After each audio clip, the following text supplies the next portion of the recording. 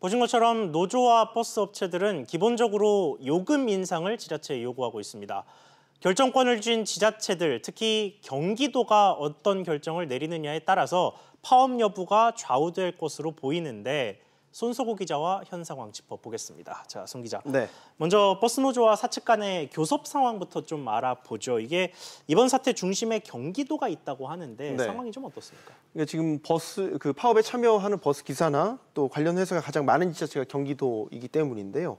경기도 지역 이 광역 버스 15개 업체가 바로 노조를 통해서 지금 사측과 교섭을 이어가고 있습니다. 그렇기는 한데 아직까지는 입장을 좁히지 못하고 있습니다. 예. 노조 측은 서울 지역 버스 업체와 동일하게 임금을 달라 그리고 주 52시간 도입에 따른 주 5일 근무를 요구하고 있는데 여기에 대해서 사용자 측, 즉 사측은 어, 지자체로부터 재정 지원이나 혹은 요금 인상이 이루어지지 않으면 이 요구를 들어줄 수 없다라는 입장입니다.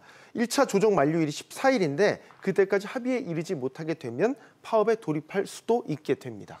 그렇군요. 결국은 이 지자체들이 요금 인상 여부 또 인상률 뭐 이런 것들을 좀 결정을 해줘야 파업 사태가 순차적으로 해소될 수 있다는 얘기인데 네. 지금 지자체들 움직이는 상황은 어떤가요? 그러니까 연말까지 이제 52시간 도입에 따른 필요 인력을 추산을 해보면 1만 5천 명 정도가 되고요. 예. 어, 다만 여기서 이제 본격적으로 시행되는 시점에서 필요 충원 인력만 따져봐도 4천 명 정도가 됩니다. 예. 이 4천 명 중에서 경기도에서 필요로 하는 인력이 3,800명 정도가 되는 거죠. 대다수라고 보기 때문에 역시 어, 경기도의 결정이 이번 이 파업 사태 분수령이 될 것으로 보는 이유기도 합니다.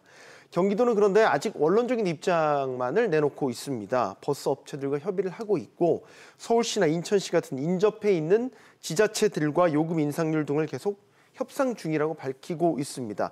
어, 주무부처인 국토부에서는 경기도에 적정 수준의 요금 인상이 필요하다라는 입장을 전달하고 있습니다. 즉 요금을 올려서 이를 통해서 이 마련한 재원을 임금 보전이나 인력을 더 뽑는데 어, 써야 한다라는 겁니다. 하지만 어, 지자체 특히 경기도 입장에서는 어, 도민들의 요금 인상 부담을 고려할 수, 고려하지 않을 수가 없기 때문에 쉽사리 또 요금 인상을 결정할 수는 그 없는 그런 상황입니다. 그렇군요. 이게 진퇴양난인데 만약에 파업이 정말 좀 현실화가 된다면, 그러니까 협상이 네. 결렬이 돼서 파업이 네. 이루어진다면 그 이후의 대책은 또 뭡니까?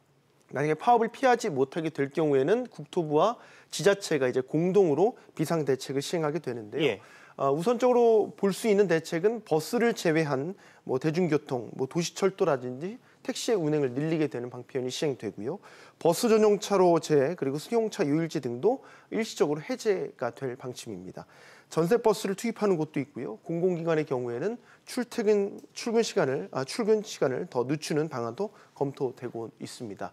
아, 다만 정부는 이번 이 사안은 지자체가 대응할 사안이라면서 재정 투입 등은 고려하지 않고 있는 상황입니다. 상황을 조금 더 지켜봐야겠습니다. 네. 송 기자 수고했습니다.